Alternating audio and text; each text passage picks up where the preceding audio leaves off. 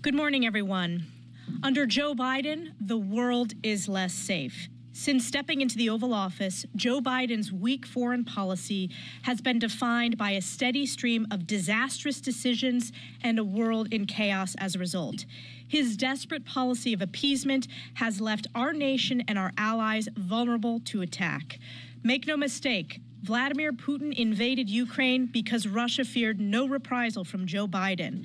Communist China flew a balloon over the United States, and Joe Biden allowed it. And who can forget Joe Biden's catastrophic and botched Afghanistan withdrawal, abandoning American interests in the Middle East and resulting in 13 American lives lost, all under Joe Biden's watch. And now Israel, our most precious ally, is in the fight for her very survival, facing an onslaught of attacks on its borders from Hamas, and now the unprecedented attack from Iran over the weekend. Russia, Communist China, and Iran have been emboldened by the utter failures of Joe Biden and the Biden administration. Our enemies do not fear recourse from America because of Joe Biden's weakness. For the sake of Israel's survival, our nation, and the world's security, we need to return to President Trump's peace through strength policies, which House Republicans proudly support. With that, we are joined by our Foreign Affairs Chairman, Mike McCaul. Thank you, Madam Chair. Uh, let me just say first the, um, the world is on fire, and um, history will judge us by our actions. Uh, were you Chamberlain or were you Churchill? It all started with Afghanistan, the debacle, the implosion, the surrender to the Taliban that projected weakness, not strength. It invited aggression, not peace. What happened? Putin and the Russian Federation, we saw it on satellite imagery, going down to Ukraine to begin their invasion, and we warned them. I talked to the ambassador, our ambassador to Ukraine yesterday. Uh, Kharkiv is on the verge of falling. That's 2 million people, and the power grid could be taken down. It's a very dire situation, in her words. China is more aggressive now than ever, threatening to take over Taiwan, that controls 90% of our advanced semiconductor manufacturing for the world. And now the Ayatollah has raised his ugly head with his proxies his tentacles. And for the first time in history, unprecedented, an Iranian strike from Iran in Iran, uh, Israel itself, on Israel soil. How did we get here? By projecting weakness, not strength. Iran not enforcing sanctions. Energy sanctions to the tune of $80 billion were essentially waived so that China could buy $80 billion of energy and fund Iran's terror enterprise. What else happened? The UN sanctions expired. We did nothing on, on the drones and the missiles, the very same drones and missiles that we saw launched last weekend, last Saturday night. The same missiles and drones that we know Mr. Putin is buying and killing the Ukrainians with as they build a manufacturing base in Russia itself. We need to go back to the maximum ca- campaign, pressure campaign. We need to enforce these sanctions. We need to redesignate the Houthi rebels as a foreign terrorist uh, organization, for God's sakes. I don't understand this accommodation and, and appeasement to the Ayatollah in the hopes of some Iran deal when their own envoy, special envoy to Iran, is under FBI investigation for violations of his security clearance. You really can't make this up. The speaker has a plan. We're going to address Israel. We're going to address Ukraine. We're going to address Taiwan. And we're also going to have a fourth package with things like my Repo Act to help pay for this from Russian sovereign assets. We're going to have a loan program for direct uh, government payments creative ideas, a package that will be far better than the Senate's. And I want to thank the Speaker for his leadership in this very, very difficult time and very dangerous time. But the time clearly act is now. I'm uh, off to a um, hearing with Secretary Mayorkas. We'll be walking over articles of impeachment uh, today. We're going to demand the Senate do their constitutional responsibilities and hold a trial. This man is responsible for 200,000 people who are dead now because of fentanyls. This man is responsible for 350 on the terror watch list in this country now, posing a threat every day. 9 million encounters.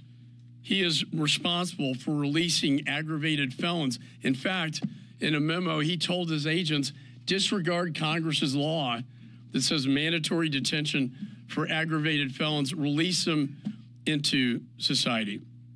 We believe he merits impeachment. That is our message, and that is what we intend to do. And with that, I want to turn it over to our uh, whip, uh, Mr. Emmer. Thank you, Mike. Iran's unprecedented attack against Israel this past weekend was a result of Joe Biden's disturbing pattern of appeasement on the world stage. Look no further than his failed foreign policy decisions over the last three years. In February 2021, Joe Biden reversed a Trump era move which imposed permanent sanctions on Iran's drone and missile programs. In September of 2023, Joe Biden waived sanctions to give another $6 billion ransom payment to Iran. In November of 2023, Joe Biden handed another $10 billion to Iran, despite the repeated attacks against American servicemen overseas. And just this month, Joe Biden actually demanded that Israel back down in its fight against the Iranian backed Hamas. It's no wonder Iran did not take Joe Biden's warning of don't very seriously. Robert Gates, who served as defense secretary under President Obama, hit the nail on the head when he said that Joe Biden has, quote, been wrong on nearly every major foreign policy and national security issue over the past four decades. Unfortunately, our allies continue to suffer and our adversaries continue to be empowered by this administration's incompetence. That is why this week our House Republican majority will be voting on a series of bills that hold Iran and its terrorist proxies accountable while showing our unwavering support for Israel. We cannot afford to equivocate on this issue. Now is a time for choosing, and the choice could not be more clear. It's a matter of uh, good versus evil, of right versus wrong. The question remains will House Democrats let this administration's failed foreign policy slow walk us into World War III? Or will they vote with House Republicans in putting a check on Joe Biden's incompetence? I hope that this week they're going to come to their senses and join us in standing with our strongest ally in the Middle East over Iran and its terrorist proxies. And with that, I turn it over to our leader, Steve Scalise. Thank you, Whip. With the world on fire, this is an incredibly difficult time for our allies around the world. Uh, you see what's happening in Israel. It's no longer just the terrorist proxies like Hamas that are trying to eviscerate Israel, but now you have Iran directly striking at Israel. You see what's happening in Ukraine with Putin taking advantage of the weakness here in the White House to try to reestablish the old Soviet Union. Uh, you watch what's happening in Taiwan as they look over their shoulder at China. We don't choose moments like this, but history will judge us based on how we respond to moments like this. That's why this week you're seeing the House deal with a number of pieces of legislation to first stand firmly with our friend and ally Israel to let them know that we have their back and their right to self defense, however they choose to defend themselves from these unwarranted attacks from Iran. That's their choice, that's their decision, but we support that decision and we are going to pass legislation to make that clear. We're also going to be confronting the threat that Iran poses directly. It's no longer their proxies that they're working through. They directly took unprecedented action to launch strikes, drones, other missiles into Israel. Thank goodness for the coalition that joined together over the weekend. Uh, not just Israel, but the United States, the United Kingdom, France, Jordan, standing to make sure that we knocked all of those drones and missiles down so that you didn't have casualties in Israel. But what about the next potential strike? Uh, we know that Israel is contemplating a response the President of the United States shouldn't be telling our ally that they shouldn't respond. Imagine if the United States was attacked on our soil and you had an ally call and say, don't respond. This is a time when your allies need to be standing together against evil in the world. There are dark forces out there and they're trying to do us harm and our friends harm. And this is the time where you stand with them. That's what the legislation this week we're bringing to the floor is focused on. Yesterday, I spoke with Prime Minister Netanyahu, and we know these aren't easy times. We meet with him a lot here, sometimes in Israel, but they're facing serious challenges that they haven't seen in decades. And we are going to be letting them know, as the whip said, it's a time for choosing. Everybody's going to have to pick a side this week. Do you stand with Israel or do you condone the terrorists and the largest state sponsor of terrorism, uh, Iran? I hope everybody chooses the side of Israel. We surely will be. And we're going to continue to stand up with our friends. And it's time the president stop putting preconditions on our allies and recognize when there's a choice between good and evil in the world, stand with good against evil. Israel is the country that we need to all be standing with. The man who's been leading that charge to stand with our allies, to stand up to the evil, and to push this administration in the right direction is our Speaker, Mike Johnson. Thank you, Mr. Leader. Um, good to see everybody this morning. It's a big day on Capitol Hill, and we have been trying to push the administration to do their job. Let me say this very clearly, as you've heard me say so many times before, and you'll hear me say in the days ahead. The Biden border catastrophe remains the number one priority of the House Republicans. We have fought for this every single day. We will continue to fight for border security every single day. And today is a big day to bring some accountability. Um, it's a very important time in history, as has been noted here around the world, but certainly here as well. And we're all witnessing that, that we live in an increasingly dangerous world. And our enemies are growing increasingly hostile abroad, and they're trying to exploit our borders here at home. The administration has made that very easy to exploit. In fact, they put out the welcome mat, as we all know. And for the last uh, nearly four years, we've seen Secretary Mayorkas willfully cede operational control of our border to drug cartels. We've seen exploding numbers of terrorists be in, encountered at the border. We've seen uh, gang members and people with criminal backgrounds be released into our country. We've seen fentanyl flood over the border, and it's now become, as we all know, the leading cause of deaths for Americans age 18 to 49. It feels like almost every day we hear another story now of violence committed against innocent Americans. Some illegal alien who commits a violent act assaults, brutalizes, or even murders uh, an American. We're we're hearing about um, illegal aliens getting getting busted for trafficking drugs in our in our even our small towns. And Secretary Mayorkas has invited this catastrophe into our cities and our states, and he is responsible for the heartache of so many families across this country. He and Joe Biden engineered this catastrophe. They allowed it. They apparently desired it. And now we're all living with the uh, results of it. He has repeatedly violated the public trust in a way that no previous cabinet secretary in the history of the United States has. And he has willfully defied federal immigration laws, willfully defied the will of Congress, the bipartisan will of Congress, bipartisan laws that were enacted before he took office and since. And after the House transmits the articles of impeachment to the Senate later today, we expect and we demand that all 100 senators listen to the arguments of the House impeachment managers. They have a constitutional and institutional obligation to do so.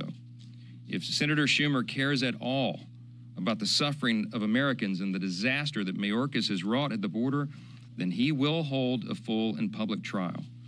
The American people want a full and public trial. I think they deserve to see the evidence, and it will be unconscionable and, I, in my view, unconstitutional if Chuck Schumer fails in that responsibility. We have fought every single day to secure the border. The accountability for Secretary Mayorkas is a long time coming, but obviously there's much, much more to do. We passed H.R. 2, as everybody knows, a long time ago, and it had all the key provisions to secure that border. We, we say H.R. 2 as if everybody understands what it is, but uh, some Americans may not. What did we do in that bill? Very important things. We would, we would restore the Remain in Mexico policy that the previous administration under Donald Trump used to, to secure the border.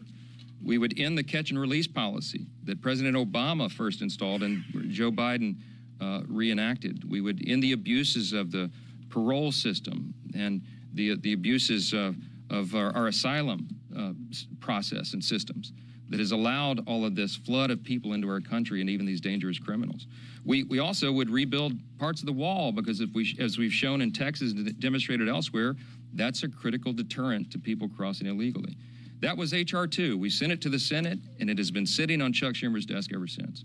Since that time, we passed resolutions in favor of the border. We'll continue, the House Republicans will continue to push all of this legislation through the House and use every ounce of leverage that we have to get control of the border. I have begged and pleaded and demanded that the president use his executive authority that he clearly has under law. Section 212F of the Immigration and Nationality Act, that now everybody knows by heart, allows the president full discretion to close the border entirely, to shut it down if he deems it to be in the nation's interest. For goodness sakes, if this is not the time where it's in the nation's interest, we don't know when it would be. FBI Director Chris Wray testified multiple times on the Hill, and most recently here just several days ago, that all the lights are blinking. We expect and anticipate a terrorist attack on the homeland because we've allowed over 340 persons, suspects in the terrorist watch list. They were apprehended at the border, but we've allowed many of their compatriots, none of us knows how many, to come through unabated or to be in those groups of gotaways. We know that there are uh, single adult men, which is the vast majority of the people in, in some of these sectors that have come in. When we took uh, 40 or 64 Republicans to the uh, to the Eagle Pass sector, uh, the Del Rio sector, back on January, January 3rd, largest congressional trip ever. They told us that 60 to 70 percent of the crossings at that border at that time were single adult males of military agent capability. What are they plotting? What are they planning? Where are they? What small town are they encamped in? We have no idea but we anticipate the worst. We pray for the best. We pray that all these fears are not realized, but this is a serious, serious thing, the American people. And so I, uh, I, I, put out a, um, a preliminary plan, uh, as you all know, on these, these uh, measures to handle these, these matters from Israel to Ukraine to uh, the Indo Pacific region. And the fourth bill in this package would be our priorities, which is the Repo Act and we implement the loan concept and all of this in the supplemental uh, discussion. Uh, but the will of this of our body is to find every possible way using this legislation and every legislation that we pass to try to use as leverage to get the administration to get control of that border. The American people demand it. The American people deserve it. We're going to continue those discussions today um, about the, the bill. Um, it's in draft form. It's not been released yet because they're still working it out. We have lots of ideas on the table, and we'll be uh, we'll be doing that in earnest. And um, and I'll take a few questions. Mr. Speaker, Mr. Speaker, Front row. What is what is your response to Republicans who say this move should cost you your job, and that if you don't resign, they will try to oust you? Uh, I am not resigning, and it is um, it is in my view an absurd notion that someone would bring a vacate motion when we are simply here trying to do our jobs. Um, it is not helpful to the cause. It is not helpful to the country. It does not help the House Republicans advance our agenda, which is in the best interest of the American people here a secure border, uh, sound governance. Uh, and it's not helpful to the unity that we have in, in, the body. Look, we have a we have a very important mission here. Our mission is very clear. The reason most of us, I can speak for the House Republicans, the reason every House Republican ran for Congress is that they, because they wanted to come here and help to save this beleaguered republic of ours. We want to save the country. We believe that we're in an existential moment. We really do. This is a civilizational moment. It's a uh, it, it's a moment where we're going to decide in this election cycle which vision we have for the country. See, we believe, and y'all have heard me say before, we believe in the founding principles, the foundations of America, things like individual freedom and limited government and the rule of law and peace through strength and fiscal responsibility and free markets and human dignity, the foundational, the anchor points that, that make us the exceptional nation that we are. And, and right now we're in a we're in a, a political struggle, a battle between a completely different vision for the country. We, we have colleagues in the Congress who envision for us not those things. They have disdain for those things I just listed. They instead envision that America should be remade in the form of some sort of, you know, European style socialist utopia. That is a dangerous fool's errand. That is a road to Marxism, communism, you know, socialism. That's a step towards those eventualities, and that is not who we are as a country. And so, for us to accomplish our mission, which is to save the republic, we need to add more Republicans to the House and grow the House majority so we have more votes. We need to, we need to win back the Republican majority in the Senate, and we need to restore Donald, Donald J. Trump to the White House as our nominee. I believe all those things will happen, but we have to we have to have a united front, and we have to have our members work together. And we'll be we'll be working today uh, to do that very thing. Um, look, we are in we are in unprecedented times. Okay, um, we're in dangerous times, as has been articulated here, around the world, and here at home. We need steady leadership. We need steady hands at the wheel. I, look, I regard myself as a as a wartime speaker. I mean, in a literal sense, we are. I knew that when I took the gavel. I didn't an- anticipate that this would be an easy path. Former Speaker Newt Gingrich posted a couple days ago on his social media that um, this is the hardest challenge that's faced a speaker probably in the history of the country, in the moment that we're in right now. He said, arguably, uh, maybe comparable to the Civil War, but maybe worse. A single vote margin at a difficult time when the nation is terribly divided. The way we get through that is we show unity and we explain how we have answers to all these great challenges. We have those answers. We shouldn't get in, the way of ourselves.